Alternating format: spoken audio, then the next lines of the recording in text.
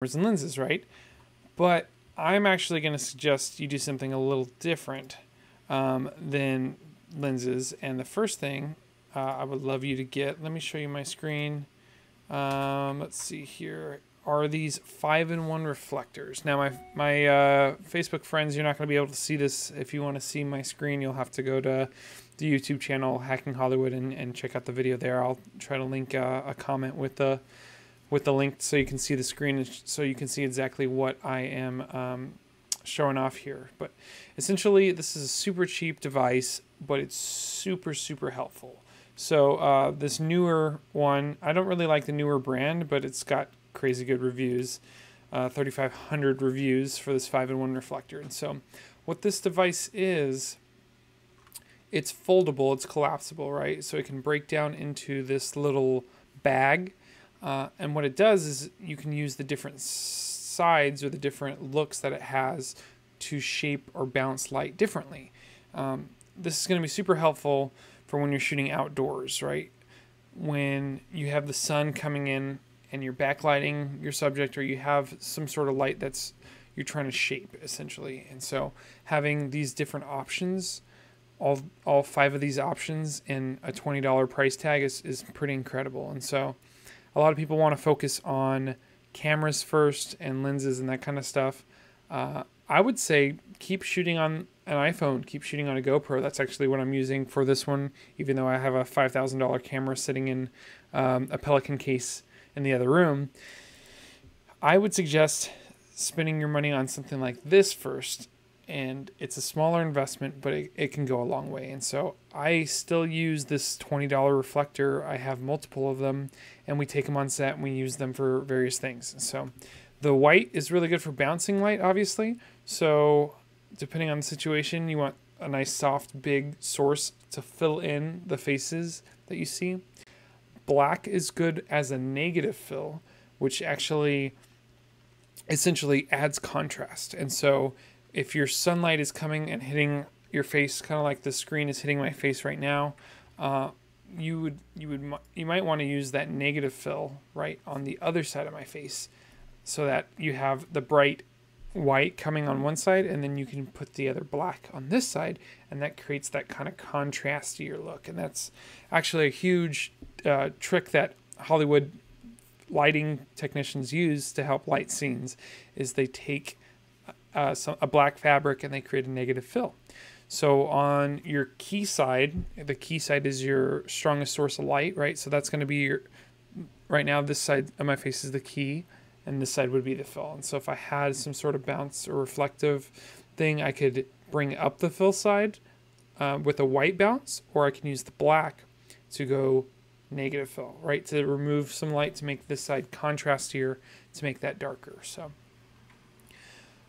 also on this reflector, you'll see that there is a gold side and a silver side, and then there's another white. Why are there two whites? Well, let's go down the line here. For the gold, um, that particular bounce is really helpful if you're trying to warm the image, right? If you're trying to make it look uh, like a dream sequence, or if you're just trying to add some more color to the person's face, they might be pale. Another helpful uh, use of the gold reflection is with darker complected people, especially uh, African American people.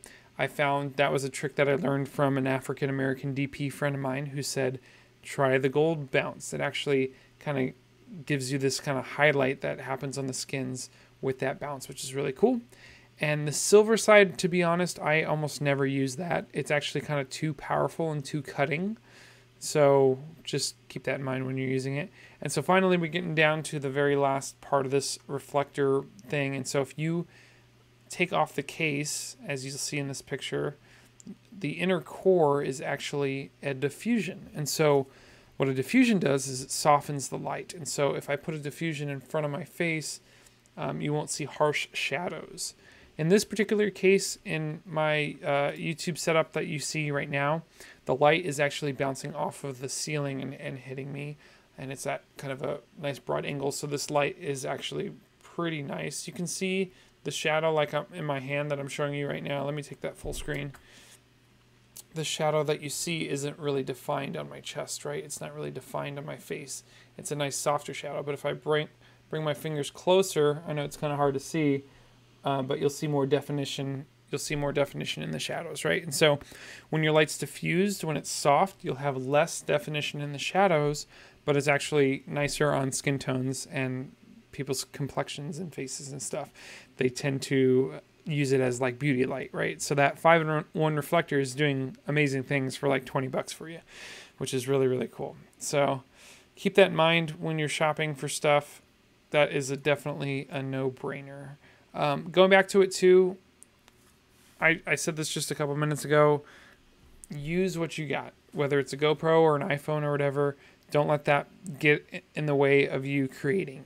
Um, if you're able, the most important thing that you can do as a as a young fil- filmmaker is to get the reps in and do as many things as you can and shoot as many projects as you can uh, and multiply your experience. So after you've gotten that reflector, hopefully you'll be able to borrow somebody's camera. Hopefully you'll be able to use something at school or maybe one of your friends or one of the parents has a camera that you can use. So the next step is if you if you're borrowing a camera, I would actually invest in lenses or a lens before you do your camera. I know that sounds a little backwards, but if hey, if you have the money to spend on a, on a body, uh, a camera body, I encourage you to do that as well. But I would actually encourage you to first buy a 50 mil prime lens. Now, the difference between a zoom lens and a prime lens, a prime is one particular focal distance, so it's a set uh, it's a set distance, so you can't zoom in and out. The difference, though, with a Prime is it's actually higher quality glass, typically speaking. Uh, it's a lot sharper of an image, typically speaking, depending on what lenses you're buying. And the f-stop is lower, meaning more light can be let in through the lens, which gives you kind of like that depth of field and what you're used to when you're watching films. So, um, depending on what format you like shooting on, if you tend to be a Canon guy, you can get a 50 in Canon and an EF mount. If you are a Sony guy, you can get a 50 mil in the M mount. And if you are a Nikon guy, I believe it's F mount, right? So there's all these different brands, and they essentially all do the same thing, right? Uh, so I would encourage you to get a 50 mil that fits the lenses. I'm sorry, it fits the system that you have. And so the 50 mil lens is actually fairly cheap. It's it's between 100 and 300 dollars, depending on what you're looking for and what you're buying. Just a little side note for my own self. I'm trying really hard to not use the word um. I'm listening to myself, listening back to these videos, and I've noticed some speech things that I do that I'm trying really hard to fix. So if you hear me doing more pauses, it's because I'm intentionally trying to not add those extra filler words in the speech. So, all right, back onto the video. So, borrow camera as long as possible. You know, get that 50 when you got it.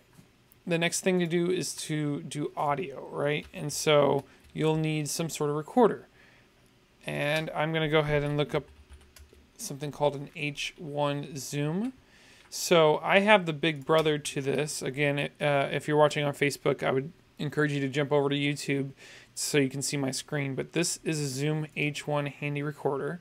And so what this device does is obviously record sound. Now, the device that you're actually seeing on camera in front of you, which is on this screen right down here in front of you, um, is the H5. So this is the big brother to that smaller device. But when you're first starting out, you don't have tons of money or resources I mean, you might, but if you didn't, if you didn't, this would be something I would suggest over the H5. This is just a single recorder, so you have the XY st- uh, stereo pair of microphones at the top of this unit, and so this is going to be really good for just basic recordings. On the back side of this device, you have a quarter inch. Let me let me see if I can play this video without going too crazy here. Let's see. I just want to see the underside of this thing, if it'll let me show you. But essentially, that microphone, you get it close to your subject, just like I'm doing now, and it'll allow you to have better sound quality than what you would have typically on a camera. So, cameras aren't really designed to have the highest sound quality. They're kind of a minimalistic thing because it's a it's an add-on thing that you have that you pay for essentially as you have more and more gear. That's the the pluses and minuses about being in the film industry is there's always something else to get and always something else to buy. Um, there's a high quality recorder built into this device, and you can connect that device directly to your camera with an eighth inch jack or um, an aux cable. So it's it's a really powerful device, and it's got a built-in limiter. It's got a low cut filter like it's showing you right now. So it's a really powerful device. So next on the list, let me jump back over to me while I get that pulled up. Let's see. So the next thing I would get is a tripod. And so Manfrotto tends to be a fairly fairly decent tripod uh, at an affordable price. And so I think the one that I I actually own two of these different Manfrotto tripods, but let me pull up on Amazon and see. I'm an Amazon shopper. I don't know if you personally like or dislike Amazon, but that's the world we're in today, right? So Manfrotto. Uh, these particular tripods are not very good for video. You can't really do any panning and tilting. This next one doesn't have a ball head, right? And so that would be something you would have to buy separate. This is a mini tripod. So let's skip down to this $300 502 head tripod. This one has um, extending legs and then also at the neck it can extend. So I would actually suggest going with the more expensive one if you can. The main reason is because under the ball head itself, I'm getting a warning. Okay. My bit rate's low apparently. Okay. Back to Amazon. There we go. So the main reason is because of the the head here. If I can zoom in on this picture, you can essentially self level the legs, right? You depending on where you are and what surface you're putting these legs down at. And so you can have the legs on a slant but still get the ball head level. And on some of the other heads they don't they don't allow you to bubble level at that point. And so that's that's kind of crucial and that's helpful to kind of keep the camera at an even level essentially while you're working. These legs are going to be a little heavier duty, which is nice. I also have a smaller version of this tripod and I actually prefer the bigger, heftier, heavier one. Let's see. I believe I have this one. Yeah, so I have this smaller the smaller one. What is this one called? The 502A and I also have this bigger one, right? So this 502 so you'll see there's a slight difference in the build quality and that kind of stuff. Like I said, I prefer this bigger, stockier one that, that's right here. So that's going to kind of be at your your discretion and your preference. There obviously are tons of other brands and stuff, just like with um, cameras, you have different brands of tripods too. So the next on your list uh, would be the camera body. And so I would encourage you to purchase a used camera. People who there are a lot of people who experiment with filmmaking and they don't actually commit 100% or you know filmmaking there's tons of gear and people upgrade over time. And so i would encourage you to look at purchasing a camera used instead of brand new. Obviously make sure it works and you have all the kinks worked out and you know each camera's got its own quirks to it too. So i would encourage you to to look at used cameras because usually you can get them about 60% of the retail price of the new price typically. And also, when you sell the used gear, like if you upgrade and you switch from one camera to the next, if you paid 60% of retail, you could probably sell it back for 50 or 60% of retail too. So it's kind of crazy, but essentially, you hit a certain threshold and you hit kind of a an investment point, right, where you've poured into your gear and you spent money on on your gear, and now um, you can essentially allow yourself to level off and, and switch gear by selling your old stuff and getting other new stuff. So. All right, so the next thing on the list would be an Aputure light. So Let me pull up my screen once again and we'll, we'll go find that.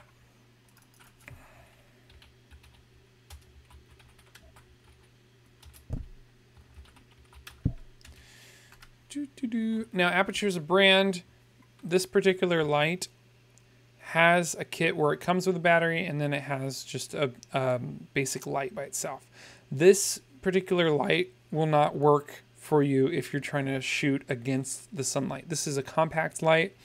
It's a fairly cheap light, even though 160 bucks is a lot of money to a lot of people. Uh, but over time, you'll you'll see that you know filmmaking gear gets expensive, and so this is a light that I used early on, and I still have three of these today that I use for different applications. You can light interviews with this light. You can do a lot of things, and so this particular setup, this this one I'm currently looking at, this uh, 528 does not come with batteries. You can get the the one with batteries, which is about another hundred bucks more expensive. I would recommend, um, depending on what you're doing, to don't start off with the batteries. You can actually buy them separately as you go on, and expand your kit to to add those batteries as you go. With this softbox, though, I would also suggest getting. I'm sorry, with this light, I also suggest getting a softbox, right? And so you can look up, I believe it's got to be somewhere. There we are. Okay, cool. So this Kramer diffuse collapsible softbox for Aputure. So I'm going to go ahead and switch over to this one.